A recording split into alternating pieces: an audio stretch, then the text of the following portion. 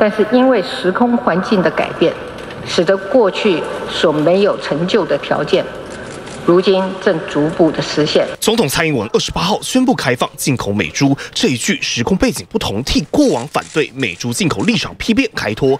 总统府进一步解释，不同在于莱克多巴胺 Codex 标准已经建立。这番说法却让新北市长侯友谊罕见连两日开炮。国际标准从二零一二到现在为止，也就是每只美牛十个 ppb 都没有变过啊。那时候我们就要求美猪零检出，到现在为止也没变啊，变的应该是总统吧？总统还是应该把时空环境的背景什么样不同要说清楚。真的是总统你改变了整个方向。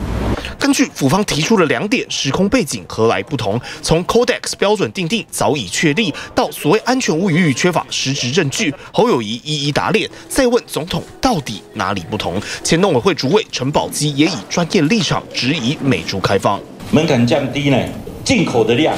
自然就会增加，这些增加影响的程度到底有多少？很多养猪农民其实是很担心。但面对国民党现实串联，透过地方自治条例坚持零检出，却有可能遭到中央反制。一旦行政院主张地方自治条例属于行政命令未接，与卫福部援引食安法发布的命令抵触，便可以函告无效。